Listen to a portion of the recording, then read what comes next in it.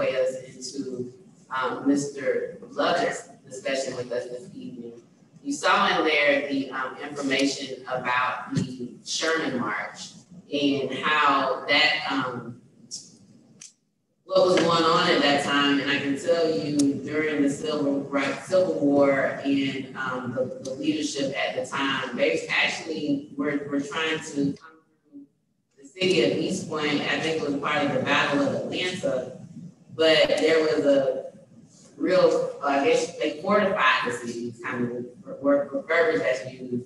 The city was so fortified that General Sherman made the decision that the area was too heavily fortified to assault and struck, and struck the railroad south and west of the city instead of East Point.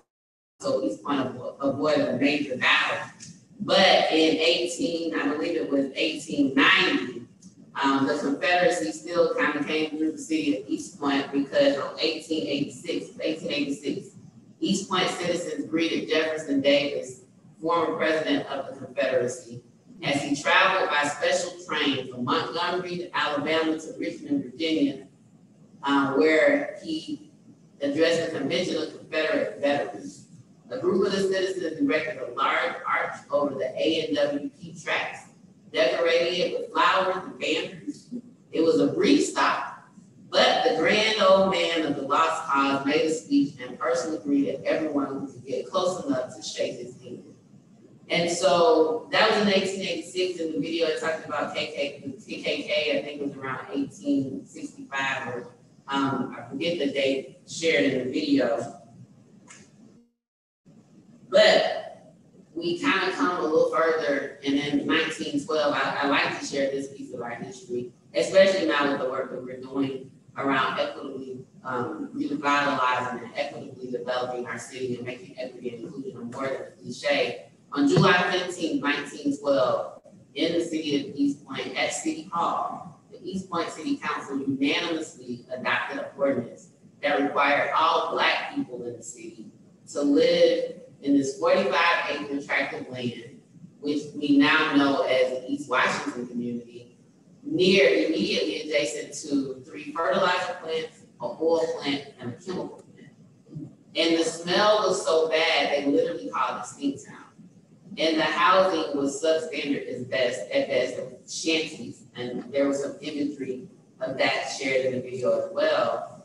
And the rationale for the, the um, factory or the mill owners was that they wanted to make sure that the workers were close and weren't late for work. And, you know, they wanted to make sure that they could keep an eye on them. For all of these self-serving reasons, um, to really have people, black people, not people, all black people live in these deplorable conditions and remind you, of course, from environmental justice, this is environmentally unjust um, situations in our city, and that's kind of how the industrialization started. And unfortunately, it is spread to other areas within the city that are near residential as well. And so we're doing a lot of work around environmental justice to re- re- um, dismantle or remediate or deal with those inequities that were created in our history. But that was in 1912.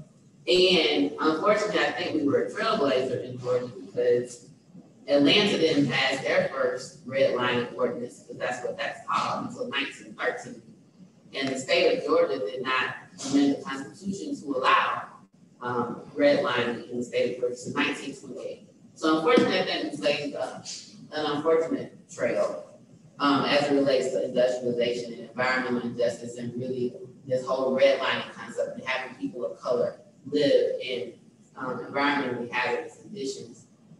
But at, that was 1912, and I just said 1928, the Georgia Constitution was amended, and that was the year that Mr. Samuel Lovett, June Senior, was born in the great city of East Point, in the East Washington community. And so, Mr. Lovett, in your own words, kind of share what it was like growing up during that time, um, and just what you experienced.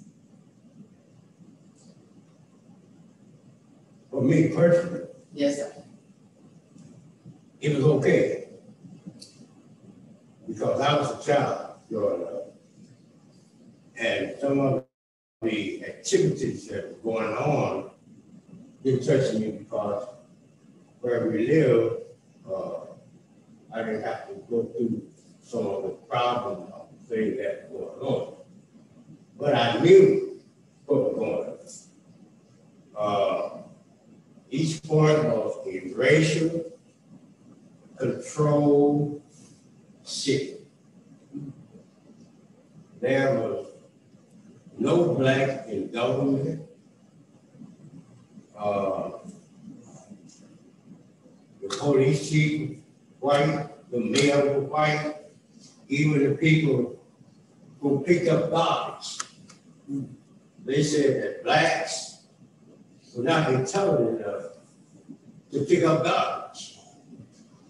And what they did is uh, box us in. Almost like a circle. I, I drawn, at the mayor was talking, I drew a circle. And we were on the inside of the circle. And the white surrounded.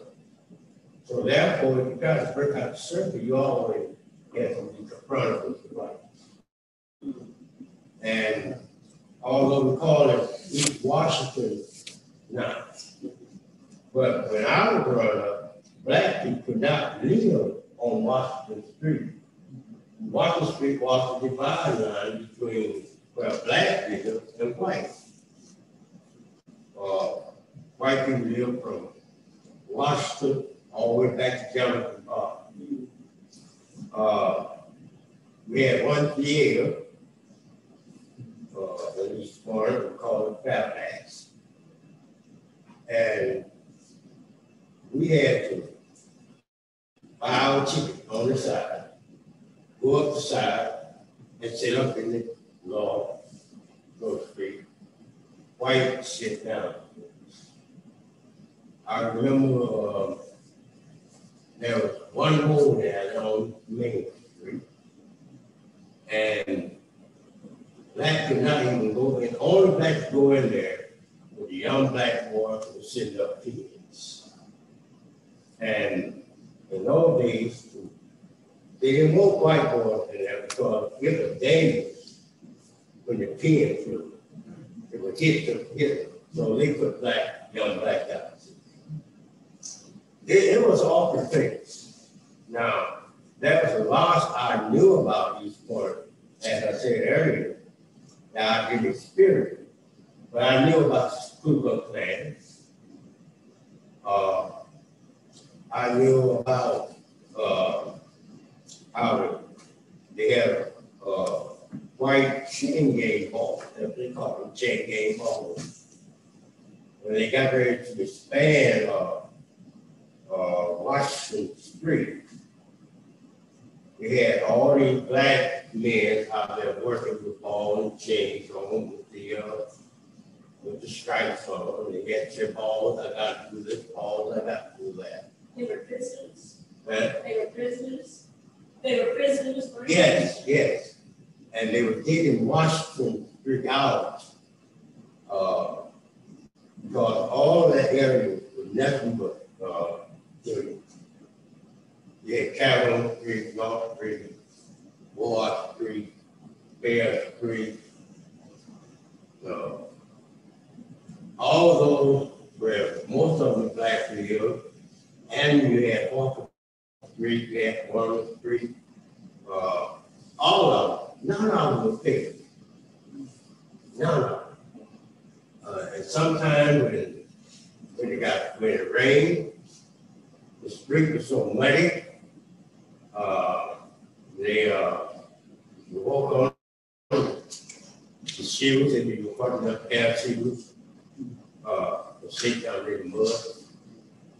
And in summertime, the kids would get out there and play, uh, basketball in the mud.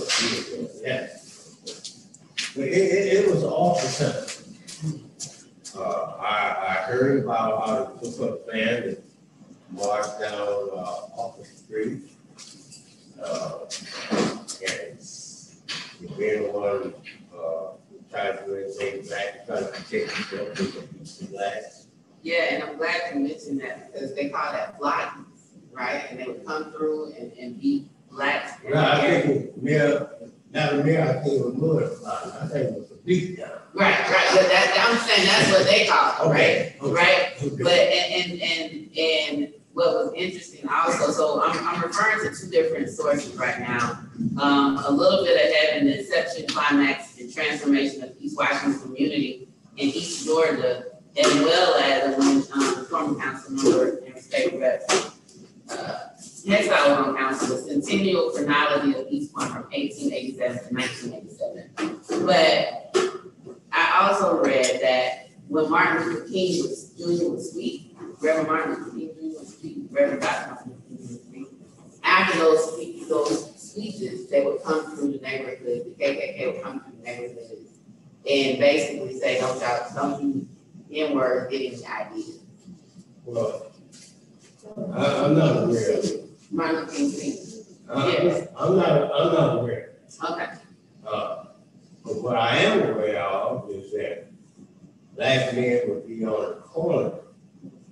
uh, And the white policeman would come by and say, boy, give me that corner. It mean that you, you, left it, you didn't, we, we on you, uh, lock you up. That's a significant point, I might add something to what you said. It's amazing that, that we see that same controlling racism in East Point. I grew up in New York City. Mm-hmm.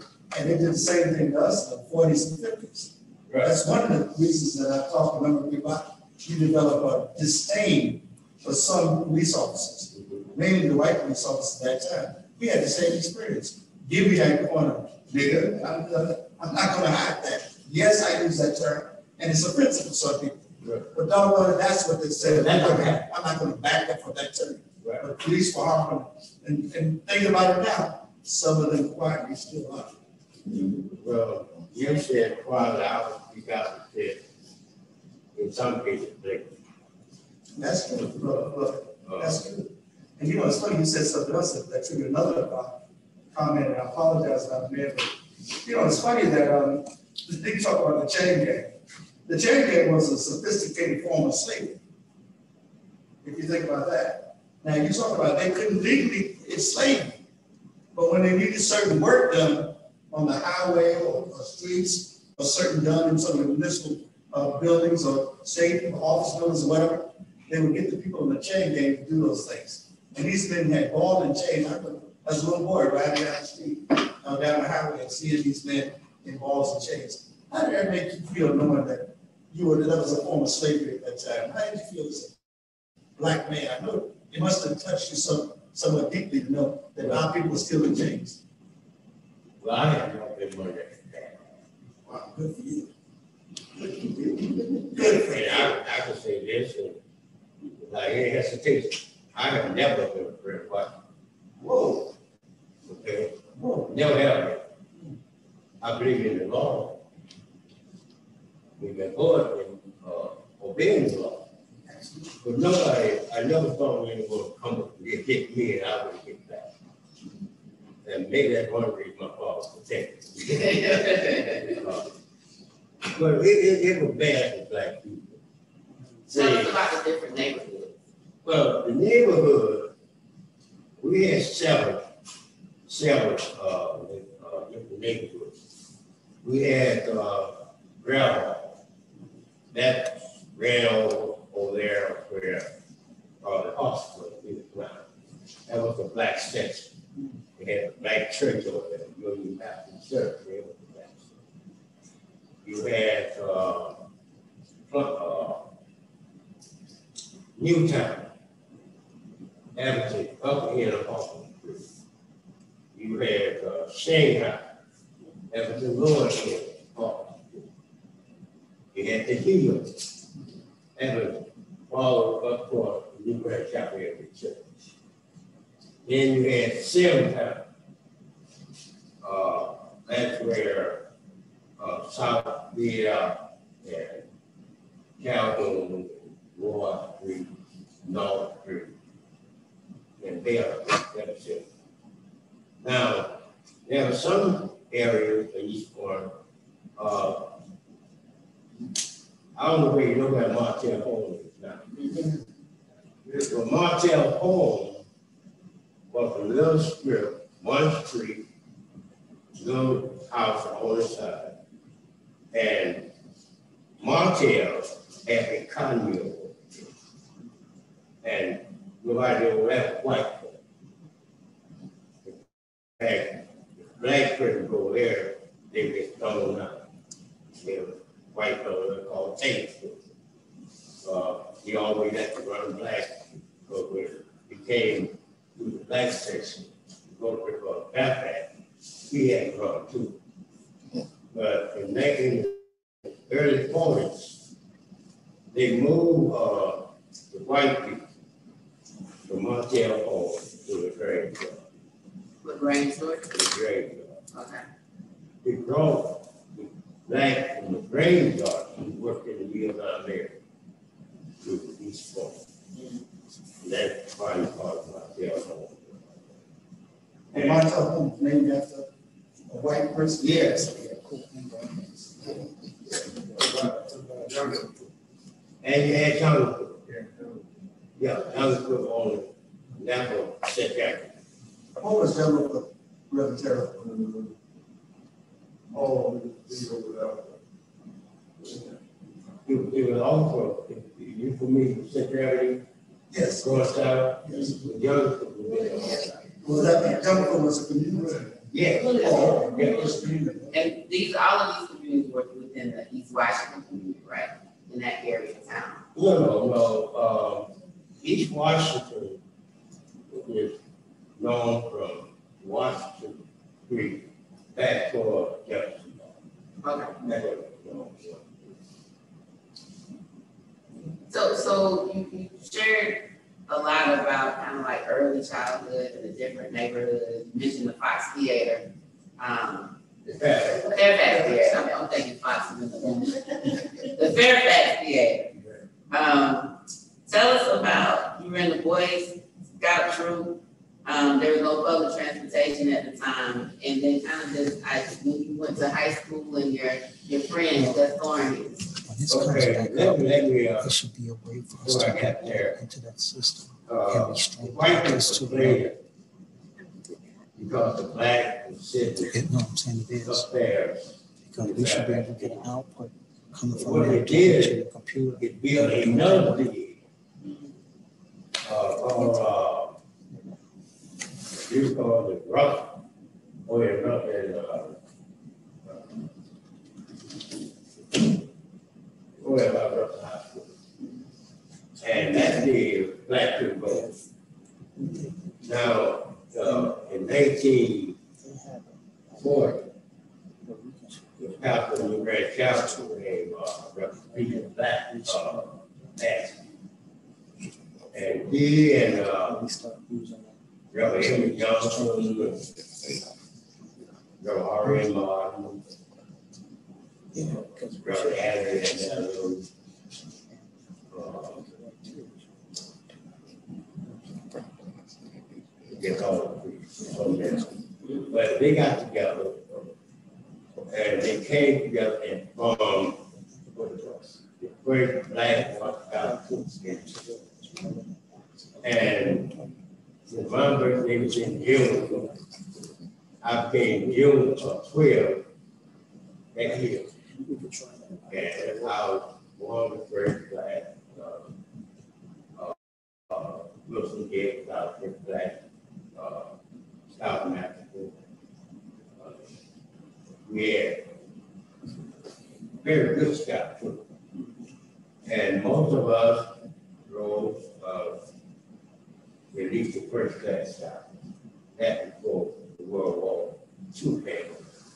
And when World War II came on, uh, Wilson, who re- refused to go in the military, was sent to China. So Boy Scout troop did functional as they all had wood. Can I correct you, Mr. Wilson, is that? Wilson had, Wilson had was one of the, uh, he was Boy Scout troop, he had gone to, uh, I think it starts with Mark Brown, he transferred to Tuskegee. And, uh, he wanted to come to family. And he refused to go to the military? Yes, That's interesting. yeah, that, That's that, very interesting. yeah. Conscientious objective, Right. I like that, wow. He was recognized for that too. Pardon? He was recognized for that, for being conscientious. Yeah. Oh, he was? Yeah, Oh, yes. Yes, I, I think, God, I got a divorce. Uh, Especially the black community. right. Now, we, we had, we had a very good athletes in sport. But East Point only went to the next grade. Uh, the surrounding city, College Park, Bed, uh, Hapeville, Calmatter, Fallon, uh, and a lot of Cascade, all those, all those places. Huh? They had, Ben Hill, Ben Hill, they had to come to East Point, they went to the, seventh grade. They came to East Point from seventh to grade. Then left, uh, East Point and went from grade to what, July. To finish, uh, training. But there were several of us, uh, they could want to, Ben Apple, you ever want to see, uh, you know, Smith, myself, we want to play football. So I had my mom and dad go to Howard, they call it, that's. So we went to Howard High School and we played football. And we were not each point really put our football team the map. But Then I helped Howard and went to Washington. And I graduated from Washington, then I went to Clark.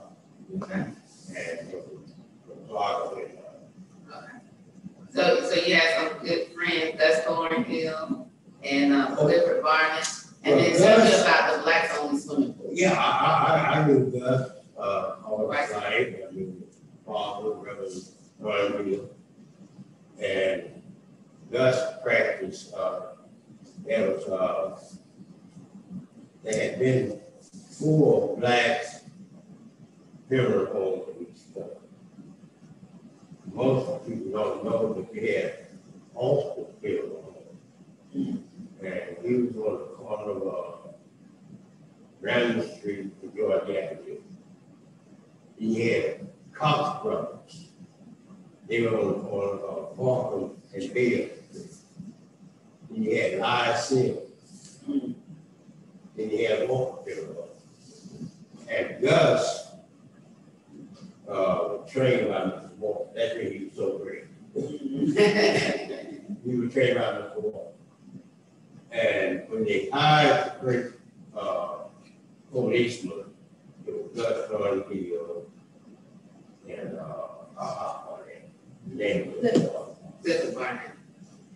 Now, I, remember, once I got out of the military, my brother, one of my brothers, was working at.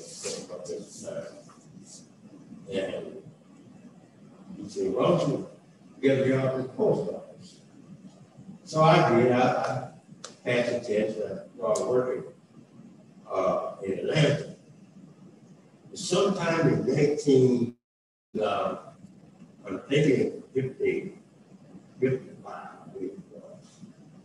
I got a call from the postmaster here in East Point. Someone coming in for an interview. I went in. So when they called my name, I went in, he said, who are you? I told him, well, what you want? What you said to me. and he said, what's your name? I told And I told "What? well, I'm yeah, Paul. And he told me, he said, I cannot hire you after that. You. He said, if I would hire you, that's the letter. I my job. That nineteen fifty-five. He said, but I'll tell you what I will do. I will hire you as a janitor. That was around to all the fellows, I knew they were from. But anyway, he said, I'll hire you as a janitor. He said, one day they're gonna hire, uh, color, color people. And you'll be the first one. One day. And I, and I said to him, no, sir, thank you. And he said, you turning that job down? I said, yes. Why? I said, because I'm already another area now. It blew his mind. So it, it, it was, it was just so racial. When people, when people look at, uh, the race issue today, they think it's bad. Not that bad.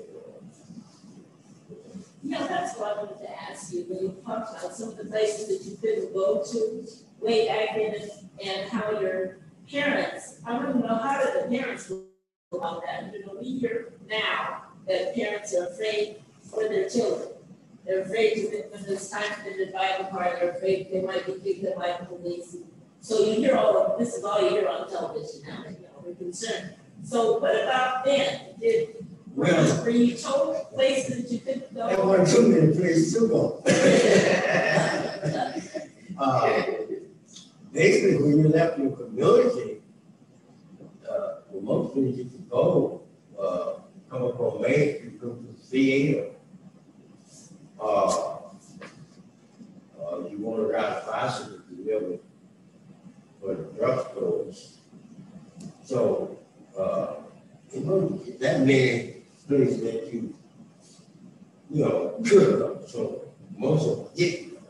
Were you given rules though about how you should approach a police or? I, I, I, I was never told, not by my parents, now I can't say about other parents.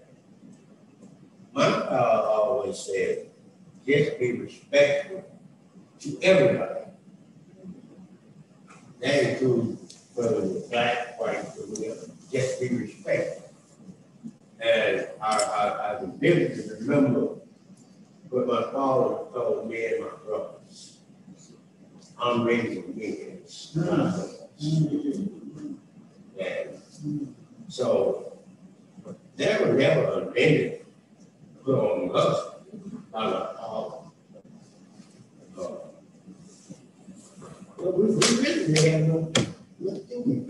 with, uh, stick ball in the street. We played hopscotch, we played, uh, hide we shot marbles. Uh, we tried to play cards, and it was a community thing. Uh, you know, I think they call it nature. When I was raised up, uh, it was community. And community, the people work together. Just like I was saying, uh, mom was daughter. Uh, Dr. Uh, Children, mother, and aunt taught me. And in those days, whether you school teacher, whether you was a railroad person, or wherever you worked, you went to the same churches. Uh, they had, they had their sewing club. And, and, you know, they didn't look at, oh, uh, you're, you're a professor. Uh, They, they look at you as a neighbor. In fact, let me say that I'm be stupid. I remember I had to take a break, I take a break from, uh, and the family right next door to us, the Gates, uh, Garfield, who was a, uh, school teacher, principal, brother, so. So, you know how you pick your classes. I, I picked my class. and, uh, When I looked up, who was my instructor? Garfield Gates.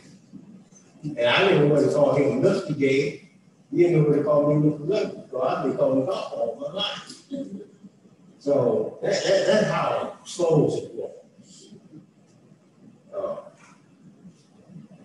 But I, I, I just wanna, I, I don't think the black folks, you know, they actually, I hear a lot. Black people understand about that. Wow. That brings, let me interrupt you right now, because just sitting here, Brother Lovett, I'm really impressed to hear what you say, because for the most part, those of us that were came through the sixties, you know, thought we were brash, somewhat arrogant, somewhat, you know, non-passive. We thought all of your generation was somewhat passive. But by being here, you now saying you are a, taught by your father to be a strong black man. And I think one of the things I used to tell my uncles, I used to call them Uncle Tom, they were so proud to went to the military. Although they called the bulls and what they did in the military, and they were with Patton. I said, you guys are just a bunch of Uncle Toms. They're dead and I wish I could beat them up and apologize. But to see a strong black man like you really, really tells me that our people had opened and got, we got to where we are now because of strong black men like you. And I am so happy to be sitting next to you. And I know that we have to talk to Pat and I have to talk to uh, Reverend Gerald. But man, I am really, really impressed what you did. It's strong, it is, it is tough, it is tough.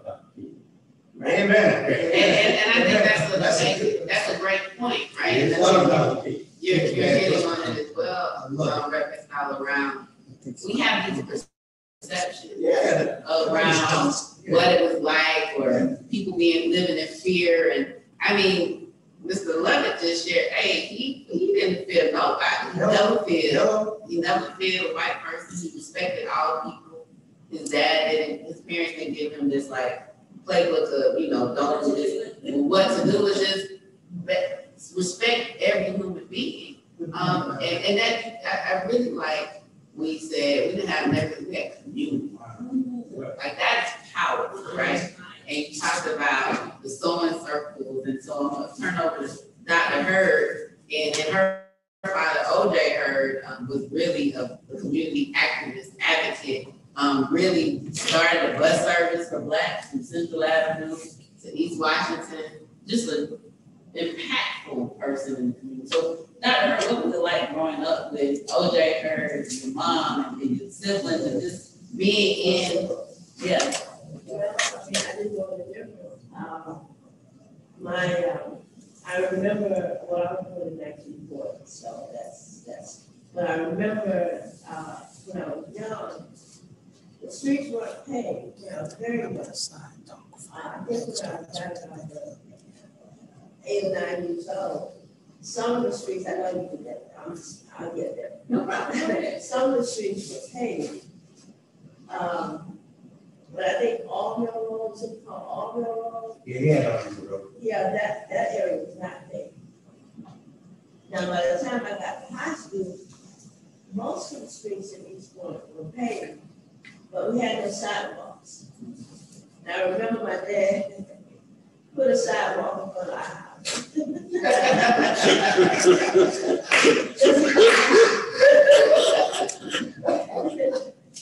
Um, Going back to my father, he was from Cassup, Mississippi. He was a farmer from, from the beginning. And I remember we had chickens and we had hogs. And at some point in time, we would go and they would kill the hogs and fix the meat and all of that. I remember chicken, I was young, chicken pecked me. And I was scared, I was scared of chicken. Um, Okay, let me see, where should I start? Um, I'll start with my mother. Um,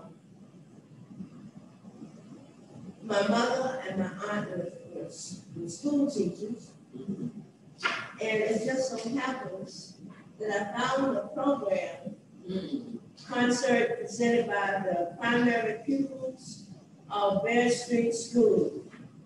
And uh, it has, it had to be before, at least nineteen thirty-seven or before. Wow. Oh, the reason I said it is that, um, my mom and my dad were married in nineteen thirty-seven. And on this program, she is listed as Miss Ruby Chung. And, uh, she taught the fourth grade, she, the, she was the fourth grade person. And my aunt was Ann Chung, taught the second and third grade. And the principal was Professor F. S. Capel. So, I found that program. Nice. And it's interesting, Dr. Burke, you just reminded me, your mother and father taught him. No, Mother no, and aunt, My mother and aunt taught him, yeah. yeah, which is a wonderful connection that. yeah. Yes. Wow. Um, so let's see, um, went to, he, he was mentioning that the school stopped at what, eighth grade, Uh, at the next year. ninth grade, then you had to go to, uh, Right. eleven, Yeah. to high school. Yeah. Well, I went to East Point Elementary School and it didn't stop. So I went from the first grade to the seventh grade, East Point Elementary School. Uh, and then from eighth grade to twelfth grade to the South Point High. When I was there, they changed the name just before I entered because it used to be East Point High School. So it became South Point High. Um,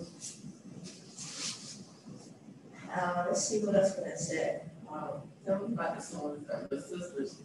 Okay. Organization your mom was a part of that community. Yeah, Yeah, uh, there were several, there were several, there were two kinds of, uh, uh, clubs. There was a social club, like the High Synod Circle Club, one that my mom was a part of, and there was a Rose of Sharon. And then there was a civic club, which was my father and other, uh, people, uh, had, and that was called Southwood Boosters Club. Um, I happened to also find a program which says, uh, they were celebrating the fortieth anniversary, and this was in, uh, nineteen fifty-four at Salem Baptist Church.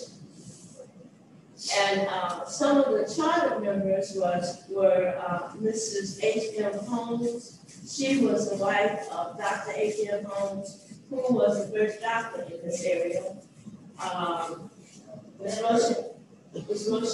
Benson, uh, Mrs. M. A. Head, the Head family, uh, Mrs. Mentioned Mrs. Lofton, Mrs. Georgia Sada, Mrs. Roxy A. Farmer, and this is out of England. Those were the charter members of the Snot Club. Uh, their motto was lifting as decline. Their colors were pink and white. And of course, um, there were other members, Mrs. Blanche McElroy the president, Mrs. Rosa Murray, the vice president, Mrs. Stella Freeman, fin- financial secretary, Mrs. A. M. Walker, recording secretary, Mrs. Gertrude Barlow, treasurer. My mom was a member of this club. So, um, So it's interesting, you said the motto was lifting as decline. That was our motto for Howard Law School. when I went to law school. Oh, really? 1937. Yes. really? I, so that's why I was like, wow, right? Um, you know, the, the themes or the, the, you know, the actual quotes or things that kind of come from history and like repeat themselves. but they're powerful and impactful. Um, I, I, I, I, really, um, agree, like, these are like artifacts, right? Like nineteen thirty something, nineteen fifty, really good paper. Oh, this is the, uh, this is the is the, Heisenberg. Oh, That was the okay, name okay. And he mentioned Hamilton Holmes's, that was his, Uh, grandmother, grandmother. yeah, Alice, Alice Holmes was his uh, aunt. Alice, Alice Holmes was, Dr. Uh, Holmes and Mrs. Uh-huh. Holmes' children, child. okay, So so, she was the only daughter, and there were about three or four sons. and, so her father was the first physician here. Right, it's one. And then she became a counselor with Fulton County School, and she was hired by the principal that she went to. Uh, That was Right. parents, right, the parents. Yeah. She said that she's gonna be my counselor at some point. point, and she ended up, that's when she retired. from that school. Yes, But- But that. well-known person. Remember, Dr. Holmes lives in, or, lived on Remington. Okay. Hampton Home, born on, on And Sue. I One, one that came, Will, taught us. And so him, Alex Holmes, Washington. Right. Yeah. and so Hamilton Holmes Elementary School is named after. It's named after grandson, after, who was the doctor, they, he's the chief medical examiner for the Baby Hospital. He was the medical director in the hospital the, the ABM, uh, who after him. That's the grandson of the doctor that was here in Fort And he was, uh, Yeah, That's the same Hamilton Holmes that, uh, desegregated. yes, yes, yes. Okay. And, Yeah. and the, my, the aunt, Alice, Alice, is, was on the library board of Atlanta, the Atlanta Library Board, who was instrumental in helping us get the library. And she, Wow. she was appointed by Michael Hightower. Yeah, so I took classes with her, her at areas history, she was tough. So, so One thing, uh, Dr. Burns, that, he didn't talk much about, uh, your father when he started to bring Yeah, I'm people. get that. the friendly people last line, right? Yeah. Yes, okay, well, my- as I said, um, my father had a lot of different, um, occupations. Uh, he was, uh, uh, uh, trained former coroner, he was that, um, and, uh, I, I did, uh, if I had not been a, a scientist, I would have been a historian. So, um, at the time, uh, the Atlanta, uh, transit system did not come into the black area. It stopped up on Main Street. So my father got a named bus, actually, I named the bus, People Bus Line, it was, I named the bus. And, uh, he would carry people from the black area up to the, uh, main line, that was one of the things that he did, the main line to catch the, uh, Atlanta market thing. He also, um, called the, uh, sports team, uh, um, he called all the sports team in, at South Wilson, and others, uh, high schools as well. Along with, uh, cousin, um, brought him up from Mississippi, so he helped work with, uh, system as well. Um, he was a voter advocate, you know, got he voted. Um, In fact, he drove backwards from the because the, the registered voters, vote had to vote, was a district, and he was driving in high school who was over to be able to register to vote and participate in the process. yes, Mm. show me voter advocate. Yes, the question, Madam Mayor, it's interesting that you talk about voting at that time, and people were voting to vote. And of course, the voting, I'm sure was very difficult at that time. What do you think now, the voter suppression uh, legislation being passed to prohibit, or discourage black people from voting, as opposed to your father encouraging people to vote? And you talk about voter suppression, it was almost deadly to vote then, you killed for being an Arab Negro. Oh, at my level, at my stage, I, I don't, I don't remember any having any problem voting. But I, I can see it's a regression because we were segregated. And, um, now there's still voter registration of suppression. And it's, it's, he, the cycle, he continues to go back and forth. So, uh, yeah, there's some similarities, it has not gone away uh, still here. So, yes. Well, maybe it was told that better because they're all in one area. See, they all, they all live together. My family very confused because they're spread Spread out. So they can say they just gonna stop everybody. Or they, or they're gonna vote the way we want to vote, and and how? And how? And they won't have what up. But although the Bible says, and a lot of them, a lot of the legislators who support the law um, say they're Christians. And then that is it when you were hungry, when I was hungry, gave you some meat. When I was thirsty, gave me drink. But and also, and also, it's a by them, and they want to make use the slave over the map. oh, yeah. So, I mean, you know, the Bible, you can just not find anything in the Bible, I'm not, and I apologize for it. You can find anything in the Bible to justify whatever position you want to take. Oh, absolutely. And I mean, I think that's a lot with theology, right, in the, in faith. But you mentioned, um, there was a lot of sports, and we had sports, community, amateur baseball teams, that was just in the video as well. East Point Bears, East Point White Sox, the Swift Black Caps, and East Point All Stars. And, um, your father was very instrumental in, in the baseball field. And then we had John D. Nolan, of course, he went on to play Major Leagues and a number of others. I, I want to bring into the conversation before we go to Dr. Carroll. So it's two things. I want you to talk about the, your role in the East Point Black History Book that was commissioned or led by, um, former Mayor Hilliard. But let's talk about the swimming pool situation, right? I, I was, it was Yes. I, I want us to get there because I, I know we, we've been, this is good. I'm really enjoying it. So there was a, and it was in the video, there was a white only swimming pool and then there was a black swimming pool and, and what was showed on the video as well is like that's kind of over in part of the area where John D. Loomis Park was, there was a black swimming. But there was a white only pool and the location was where the East Point Historical Society currently sits, right? So I know, um, Reverend Terrell, you came in nineteen sixty-one, so either Mr. Lovett or, and, or Reverend Terrell, like, let's, let's talk about that and then we'll get into the black people. Okay, I, I'm sorry. Okay, I wanna miss one other thing, Okay. going back.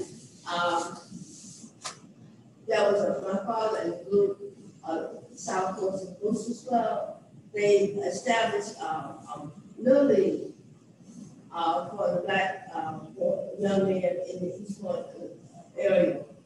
And so, uh, this is a letter, I got something else too, Wow. uh, wherein they could not play in this area.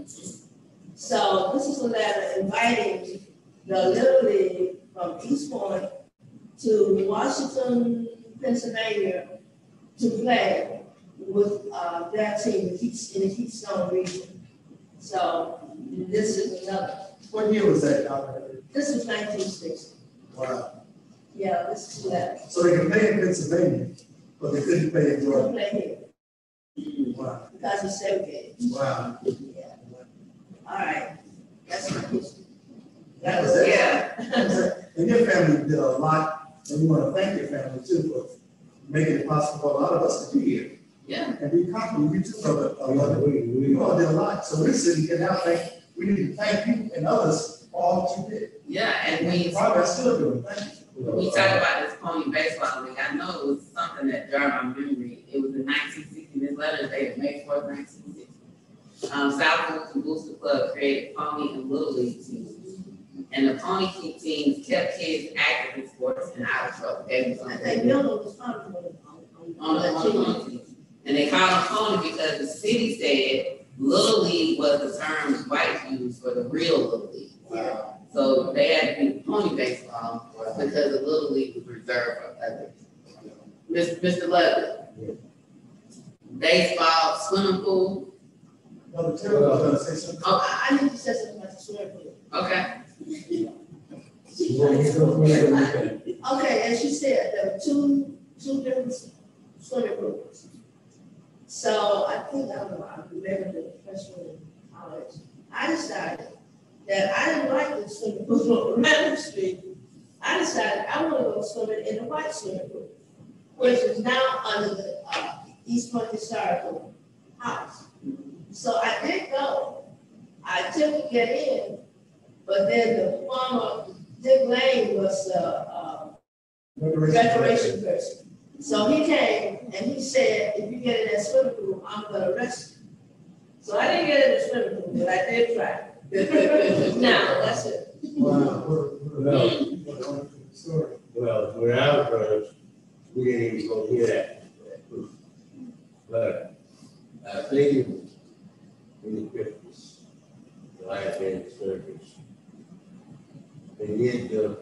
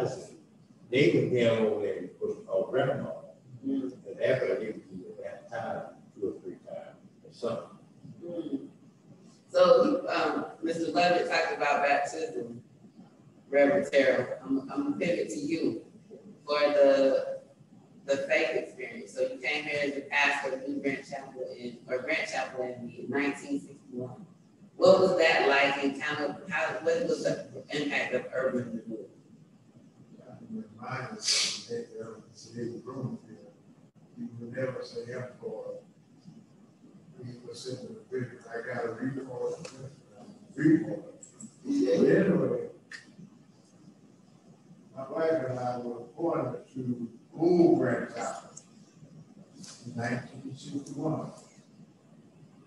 Didn't really want to come. Nobody wanted to come to Grand Chapel in those days because the local speaking Grand Chapel was in a terrible mess. Well, that, that, that, what I want to say, that, that doesn't belong to this meeting, but it was a mess. Well, the bishop sent me out in his will was the principal, number one friend, uh, my father, was the principal of South Fulton. Can you speak up just a little bit, Reverend? Can you speak up just a little bit? Want to make sure everybody can hear you. Speak up just a little bit. It's, it's gonna catch you, just speak up just a little bit louder. Yeah, you maybe. Okay, but anyway. Anyway, if you would say to me, son, I said, I want you to go and save my church. And I said to him, where is the church located? I'm going to redundant, Stephen, that express that question.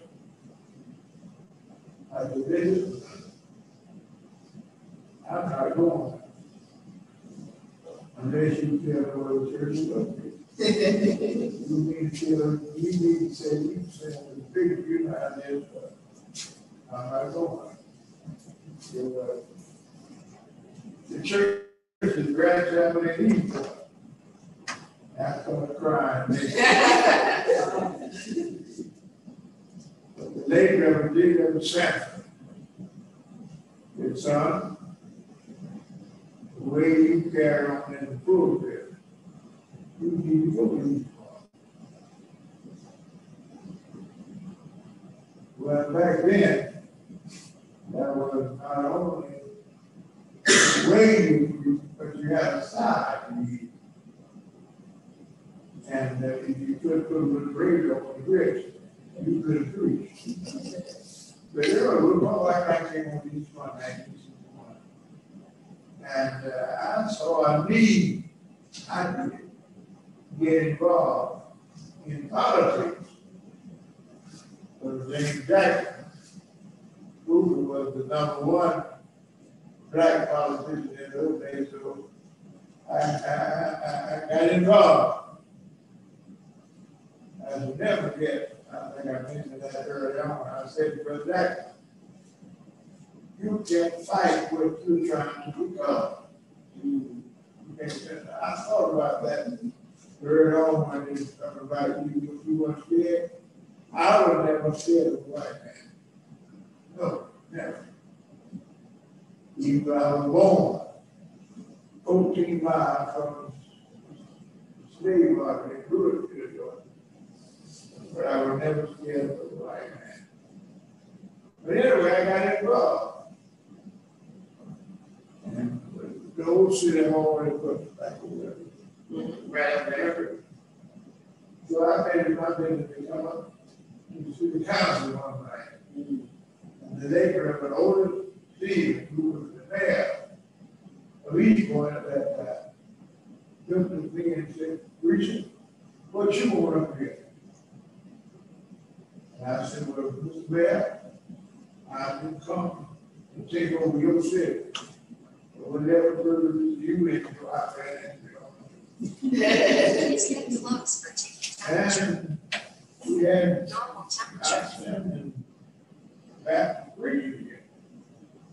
But, Davey, uh, Dawson always moved it back. But they, for some reason, were afraid to get involved, there were black people were still white people. But I won't get involved. And I got involved in political aspect first of the community. There he is, there. I been at, um, Solomon Baptist Church that night. And I made a statement, I said, Brother Will you resign, uh, stepping back so we uh, get a, a black person the city council? He's looked at me, that's why he said, yeah. And that's when we agreed to that.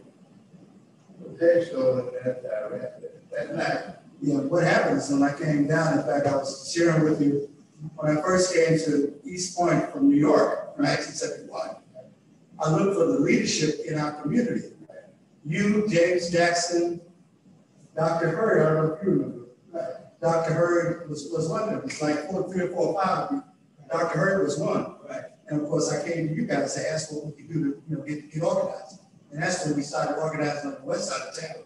Because up to that point, there was no organization on the west side, but, but- with your encouragement, we started. Pardon? you got elected, Thanks a lot of you, yes, yeah. But, but they, they, they, And Madam Mayor Hilliard, uh, the white people had not elected. They got together. I was a good neighbor, what are you talking about? But they got together to run me out of Point. And this I have not said until tonight. And you had number two Baptist preachers in East Point at that time. Davy was at uh, Sidon. Larry Clark was at, New Rock. They joined the white people to run me out of they. But anyway, I said, I'm gonna hang in here. And when the time for, when it was good time to get in- involved. Was when Dr. Martin Luther King and the group of people marched on Richard. You remember Richard, you had that? I, I participated. But anyway, Yeah. yeah, well, see, I was student at Brown at that time, so I joined the, uh, the, the march. And We marched until we got down to the site and uh, Mission Street. There was a white man standing over there, and he thought, yeah, like you ain't go along. So I got out. Got the priest, uh, named Reverend Kennedy, he was in a week before. He's Gerald? Yeah. He get out, yeah. He said, why? I said, Benny, if that white man stood on me, he ain't gonna fit on nobody. And I got out, I didn't know then. You right, Martin Luther King Jr. and I were born the same year, nineteen twenty-nine. But you had, used to have a cafe over there Ten Avenue called the Bar. The Morrisons, not Piccadilly, Piccadilly, the Bar. Mark, I Mark.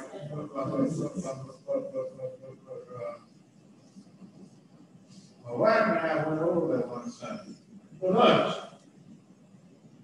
And I said, you know, sometimes it's good to be, who did, who got something, said, if you don't know that. So I said, make my business to get acquainted with Dr. King. Kept on talking.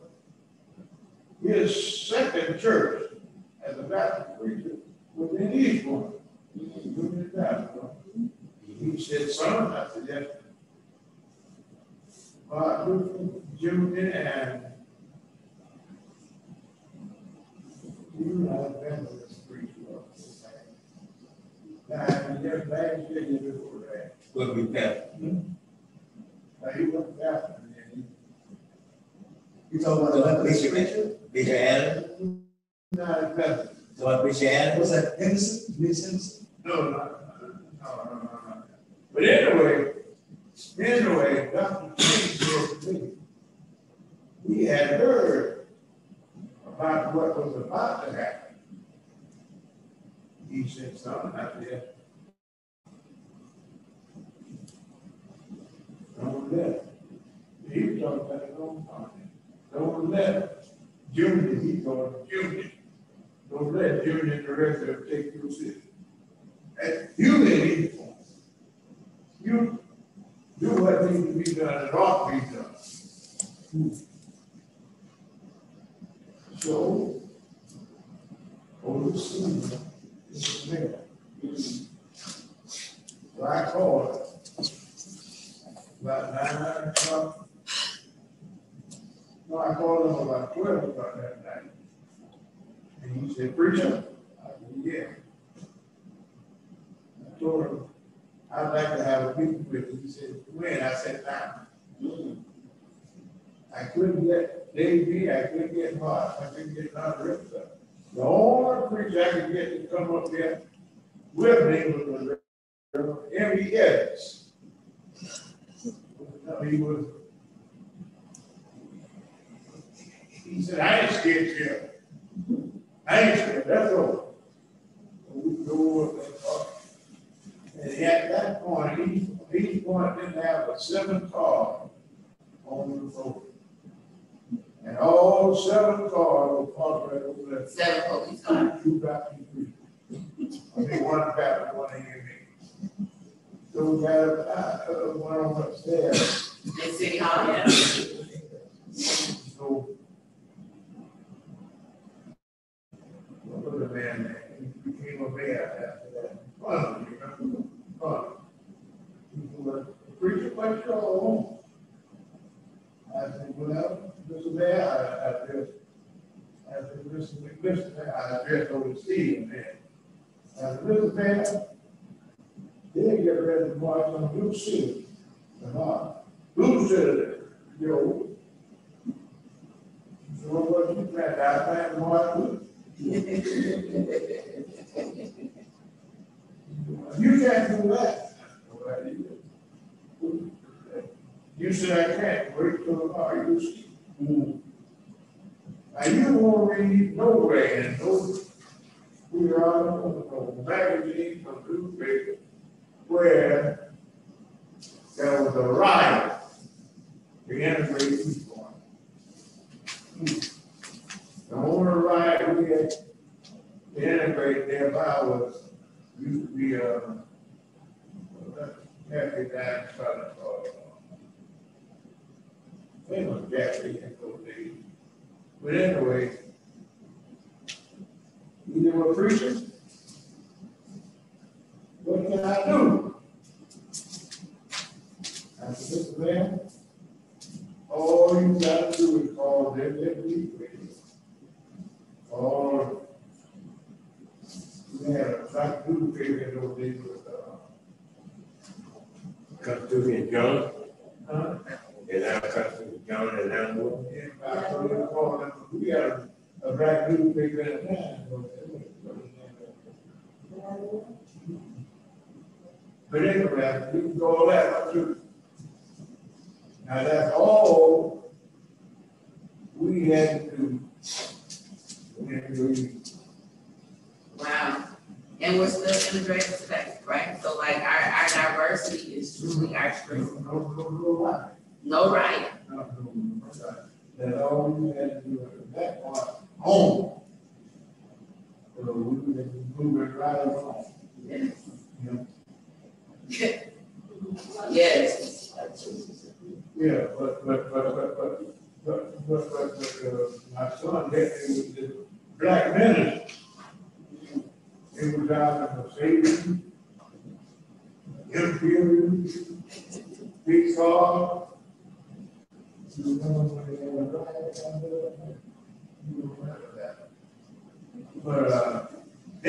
created laws. Mm. And I'm not here in the country boy. I'm not here in the Don't speak up. Yeah. You get that. Man of New York. But now he, but now he mentioned something about New York. We were looking for 1962.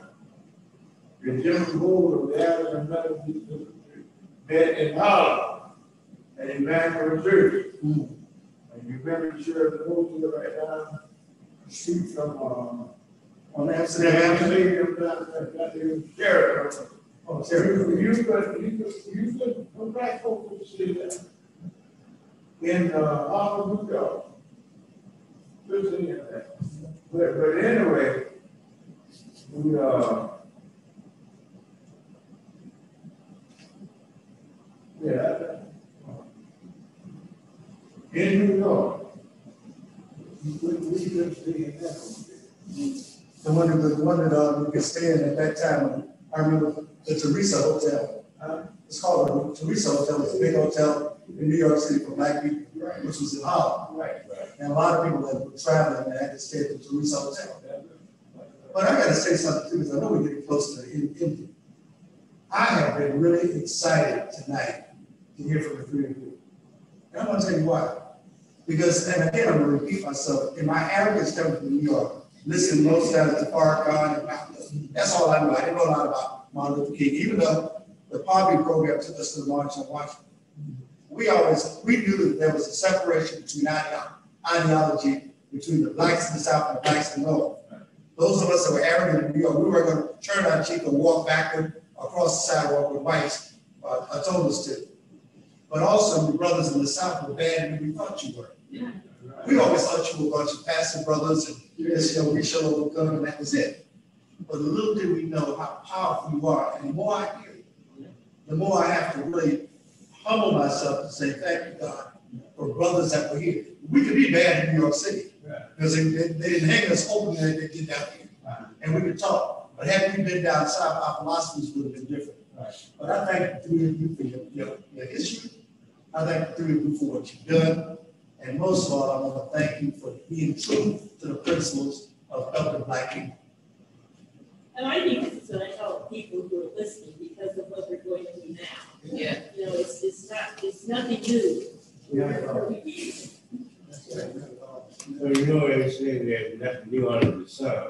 Yes, And we are, we are, we know that, those of us who have lived long enough have seen it revolve, revolve. Uh, only thing we need is they, they follow, keep her following. But, but another thing, now, that was a, a, a, a good side of each one. Hmm, a good side. So the good side of this one. You could buy anything you would buy right here. I bought my first new car. That's right. Lot of dealers. Right. Well, you know, Park, is known as the seven largest Right. industrial city in Georgia. That's right. And, and, when the big star, you would get it, I don't think you get it. We even have on each one, we had each one street, but we weren't allowed back then. We had each one street, but if we had, the two-way traffic, highway twenty-nine. Where through each one, trying to follow, red, fam, fam, and all down the road. Well, not three over the road, before the church. Yeah, I'm sure it's in that. But anyway, it was about a suit. Come on, good. But a, a nice dress suit here in East Point in nineteen sixty-one for forty dollars. Mm-hmm. Nice. But that was the good side. And once you became acquainted with one or two of the good people, you had to think you know, the week that Richard Wood sent me, so to speak, one. They didn't know who I was, but I was driving them pretty nice car. And then I moved out here in the car. And I would come out here and and then go back to who was there for, over there. Here, home there. And, uh, I think that police was serious. But everybody, what did you have your first job? How did you have your first job? And brothers. Who? We're brothers. the, real- the, the connection, so Mr. Lovett was talking about your mom and aunt, and you had your first dinner as a pastor in their house. You,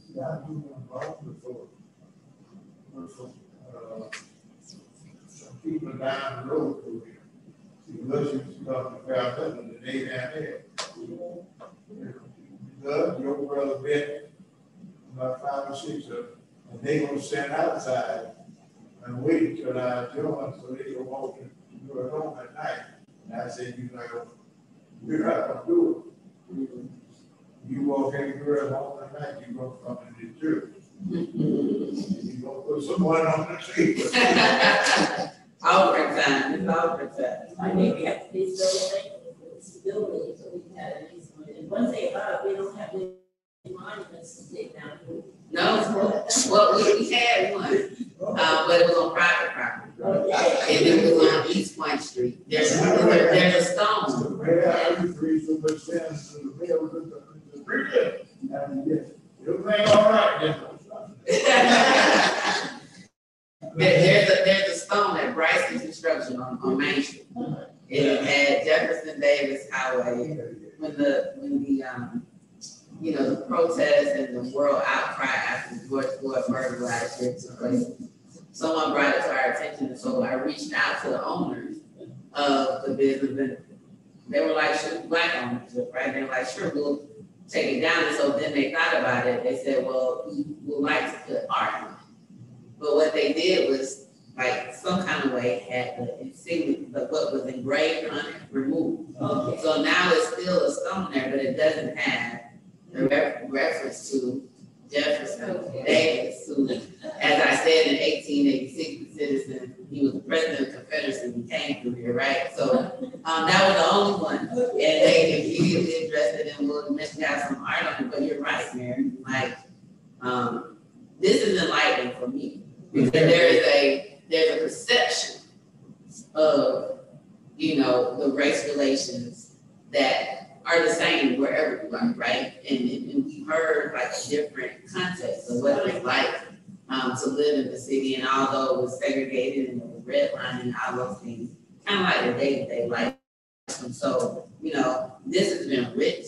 Mayor, I, I want to, um, another high aspect of the, uh, black community, was the good to do. yes, People were still going where they had to go outside. They're not going inside.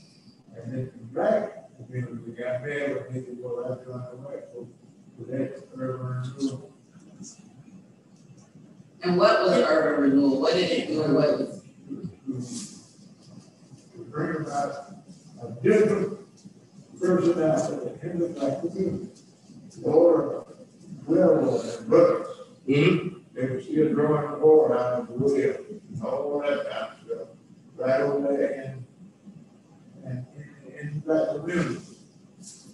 And so, whoever renewal fixed it so we could get out of church. Because if the urban renewal had not transpired, we were gonna leave like that. Well, I remember that, that was a federal program. So they, they, they gave on the corner of Auburn and Old Bear Street. Whoever renewed fifty, so we can get a hundred money, about over five bucks in that corner. And fix it so we can come to Georgia Federal. In those days, right, to borrow enough money to build that church. But, that's true, but, what we, uh, what we overlooking is that the blacks in East Point, they had, all- they had, all they owned their own grocery stores. They had their own cafes. They had their own, uh, soda fountain. Uh, they had built a, um, Sunday hall. Randy Martin. And they had their own, but I'm talking about the different aspect of it. I'm- Well, there, there was some, fun. even in sixty-one, time, we had some new, you know, pretty bad homes. Yeah. Down on Walton Street, on Walton Street, I didn't go down Walton Street on Saturday. But, but even, even in East Point, even in the worst of times, there were some blacks who had, uh, hydrants inside, uh, toilets, uh, and the telephones. They, they just weren't, you know, But they, they, they didn't want people joining the, go inside with their renewal. Change. But what I'm saying, I don't, we want to better the program. And not only this week, Ah, bad idea. Well, I got up with some going to take a bath, shower, go to church, and I'll sleep a real nice. And when you go out the back door, one went in the whole. That's the kind of situation. that's gonna keep the people from out. But when you talk about what was transpiring, right, right. I would determine that no doubt from the soil of me would have to live like I have. Make it better. And for, for I say that for twenty-seven years. You And say, about time, the grandchild, they would give me a legal share and really pick me up, maybe you guys there. Dr. Terry, But even worse, yeah. Dr. Terry, you stay there twenty-seven years, right? I- You stay there twenty-seven years? What is that? I think it's ninety. Well, you were born. Right. Speaking of urban, No, no, about see the grandchild, twenty-seven years. Doc- Dr. Hurd wants to piggyback on the urban renewal conversation. Go ahead, Dr. Speaking of urban renewal, I got something else too. We got all the artifacts, we gotta get a, a shot of these. Um, this is February sixteenth, nineteen sixty-two. And this was written to, uh, Mr. Bruce Webb, the regional director of urban renewal. Um, it says something that, we were told that the slum sections would be cleaned up first and that all homes that could be rehab, uh, rehabilitated would be left standing and that the new ones would be built to replace those beyond rehabilitation. Uh, we were sure that no one would have to change their place of abode before new homes were built. However, what happened was, because there were no new homes built, many of the people who had homes in, in that side of town had to leave. They left and went somewhere else. There were some people who stayed, like my family, um, other families, they stayed and, um, built their own homes, you had to build your own home. Um, actually, the home that I, part of my life I grew up in is, is on the corner of, uh, Bell, in in fact, they took the homes that I grew up in on, and made Bell Avenue. Right. The part of the old home is still along the left of the right-hand side of Bell Avenue. Um, so, um, we were able to get our own contractor, he was white, but he did, he did big home, built big homes, uh, nice homes. Um, we were only able to get one lot. They were only sell us one lot.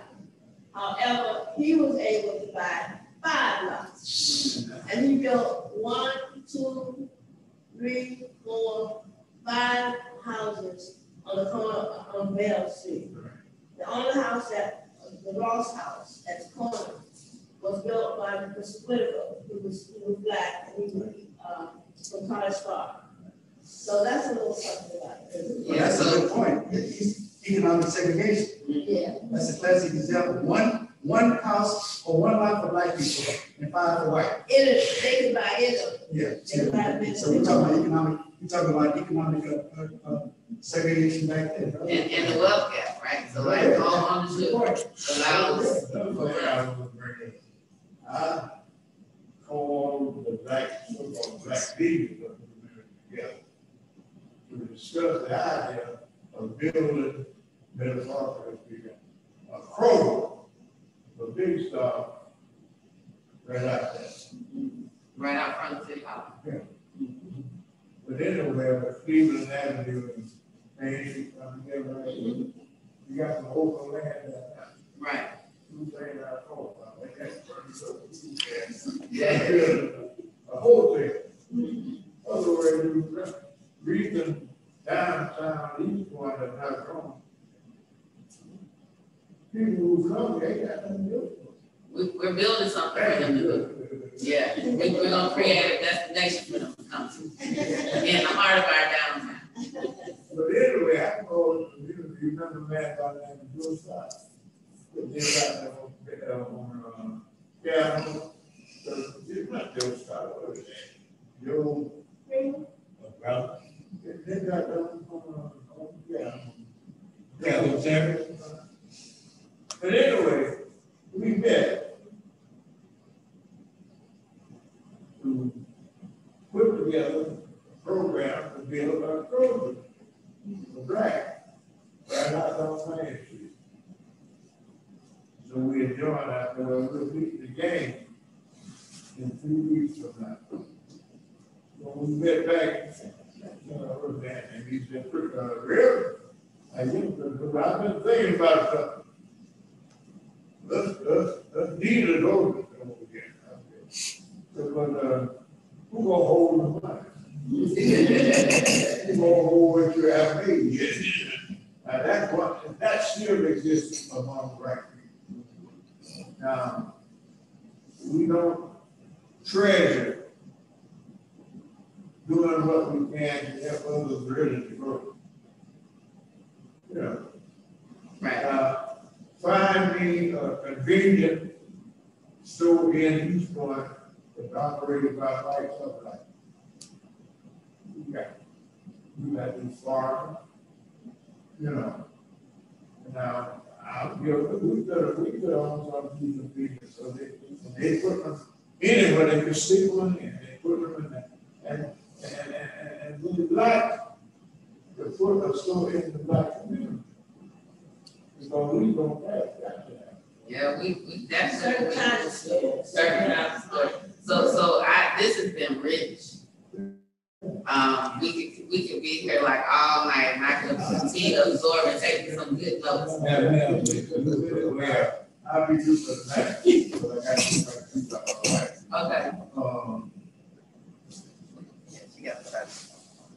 moved from each one to kind of down, which far worse each. But anyway, when we moved back to each one, we had fun with that. Served as mayor of each one, he was the civil, then the preacher, uh, yes, sir, Mr. Mayor. We moved back to each one, yes, sir. Why did you move back to each one, I was, truth was the mayor, about it, Mr. Mayor. I moved back to each one because if I missed the angels, but they say to pick me up. I'll be close to the airport now, it's just plain. Lord, Lord. I'll, I'll turn it over to Mr. Lovett.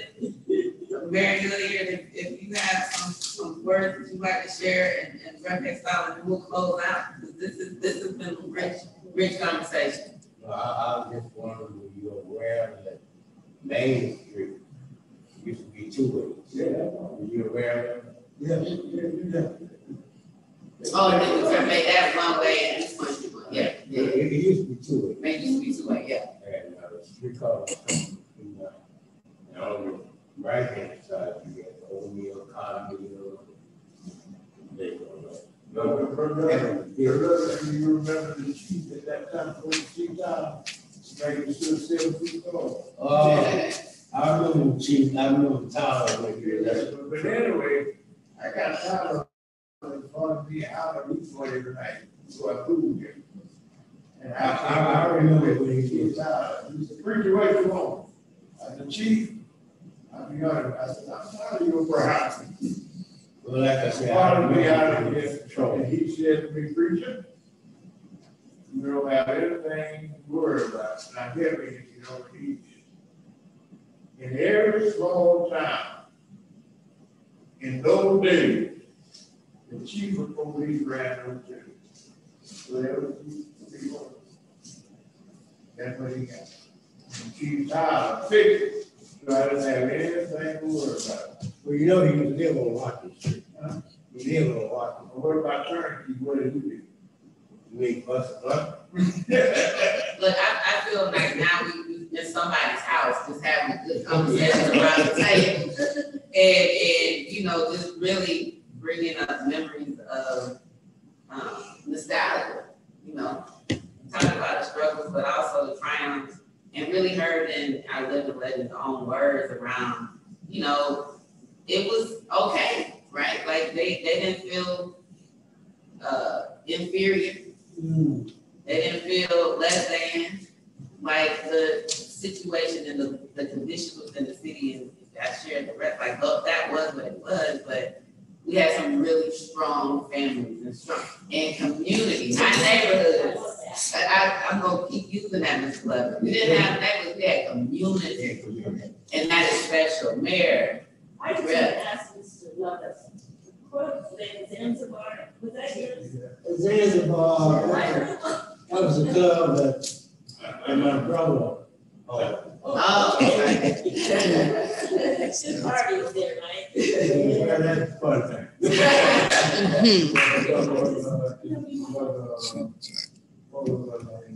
Right, uh, Kate, Why they, they may own that for what? who, that's Kate, she my brother wife, Your, your sister, your, your, your brother. she was my brother wife. So you were there too, right? That's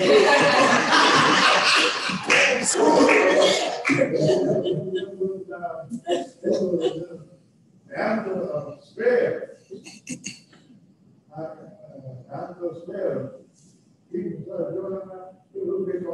I got in. Yeah. over Riding to the highways and. Yeah. Right. I remember one, one Saturday evening, I went down to the corner. Invite the boy, church, home Taylor, you know, you was Taylor. Right, Lord says that. So the Lord said, to home, go ahead, I want to go to church this morning. Home, you go, you be here when you get back. He joined and made a good house, and he did that, all like that. The Lemon Sandwich Club, we got landmark now on the club, the Black Bear. That was Sandwich Club. It was like the all here for us now. Hmm. All here, fixed to Like make the army of, army of sit all, right there. all good and see right there. All, With that in mind, uh, uh, Pastor, Pastor, uh, Lovett and Sister, um, Dr. Hurd, I've been in church all my life, so I don't know anything about the club. So you might, you might, might want to go ahead and, uh, Yeah, so, so, so this is good, this is good. We will, we will have a part three, um, a part three, we will continue the conversation about like the history of East Point during this time period and, and a more, a a multicultural conversation. Be Inviting, um, former council member Cameron Sutherland, um, former council member Leland Barton, and as well reached out to Claire Faith, who had the first, um, drugstore on Washington Road, pharmacy call it Faith Drug. Um, and there's Betty Pierce, who got married, Hilliard involved with Keep East Point Beautiful. And she established these beautiful. Keep East Point And her husband was the account with the city. So they'll be able to share their perspective with Jane Gunson, Um, Life Ministries. And so we're gonna continue to have this opportunity, to have living legends share in their own words. So when we talk about history, it's not just about reading it, but we are honored and, and, and blessed to be able to have this living legend still among us. We want to be able to hear it and hear history in their own words. So Mary Hilliard, Brett Heckstall, if you guys want to say a few words to close us out and And then we will say, I want to call you. I need to have a word with you behind closed doors. Okay, okay, no problem. And there is a new rule. Transcribe right there. Okay. Next there will be white. Oh, okay. Okay. Well, people will make that decision. But they need to know where that. Right. Well, I just want to say, you know, this is just a wonderful, it's even better than like. Yeah. Go ahead, Mary. We started to say about what happened. Okay, so this is a book that a committee in East Point did, and maybe we need to wait, at least one day so we give better attention to it. I just want to acknowledge the presence of, of Dr. Hurd, because she was the chairperson of this committee, but it was certainly community involved, and it was wonderful, the way we put it together. So we'll talk about it at the next session. Okay? Thank you. Thank you for sharing. me. Rep next time. Dr. Hurd, any closing words? I just, I, I'm just blessed very happy to be a part of this. Reminds me of, of, of the fact that we need to understand our past. Yes. It reminds me of uh, Michelangelo, uh, he had a big piece of marble one time. And people would say, why do you always carve and chip and marble? He says, because I saw a piece of marble in it. And I, I saw the piece of marble and I saw an angel in it. And I wanted to make sure I carved the angel out. Mm, And that's the same thing that's happening here at East Point. Because of you three, we're able to carve the angel of history out of what you said tonight. Yeah. And I'm very appreciative to all of you. And thank you so very much. I would like to, I want to thank our son for informing. Yeah, he was my connection to you. Man, Frederick, Frederick Terrell was my connection to you, and Ms. Tony Brown was my connection to, um, Mr. Lovett. So, um, thank you to everyone who, um, either tuned in or who will watch this to learn more about East Point's history of comprehensive and inclusive, um, history of the, uh, city of East Point that shares more in, in their own words from living legends about what it was like to be growing up in the city of East Point, um, during certain time periods. Tonight we talk about again, from isolation to transformation, the struggles and triumphs of the East Washington community. I've had the honor to have amazing co-hosts, former Mayor Patsy Jo Hilliard, former council member and former state representative Joe Heckstall, as well as the living legends of Samuel Lovett, um, senior, as well as Dr. Patricianne Hurd, and Reverend Hosie Terrell. I hope you've enjoyed it as much as I have. I have learned so much this evening. And I have a different perspective of really kind of what it was like, um, to be in the city of East Point during a time where there was a lot of racial tensions and racism and, you know, a lot of different things happening. We heard from three strong living legends who said, we weren't fearful, we had fun, we did things, and we, you know, were able to really thrive. Um, Mr. Lovett talked about the businesses, and so there was really, um, triumph, and there were, there were major success stories during this time, and so, thank you, thank you, thank you, thank you for joining us this evening, for providing this perspective, and we will continue to share more of East Point's history, um, series, part three, June eleventh, the second Friday in June will be when we'll share part three, and we'll be looking at from trailblazers to transformation. And I shared the, um, the guests, the living legends that we'll be inviting to join us, that, it will include the people I mentioned, and we might even have some more. But this is an opportunity to make sure we are sharing a comprehensive, inclusive history. We must know our past order to know where we're going. And we are creating, and we'll have East Point be a destination city where people will have things, stuff to do in our downtown, um, live, work, play, shop, stay, a safe, vibrant, thriving, just, equitable, equal community. The great city of East Point, where there's no point like East Point. So make sure you continue to, um, join us for these very engaged, enlightening sessions of learning more about East Point history. Thank you so much. Make sure you stay safe. Backs up. Again, the reason we are not masking because all of us have been vaccinated and the new CDC guidelines just came out on Thursday, yesterday. Um, that said if you're indoors and everyone is vaccinated, you can. We also only have very few people here.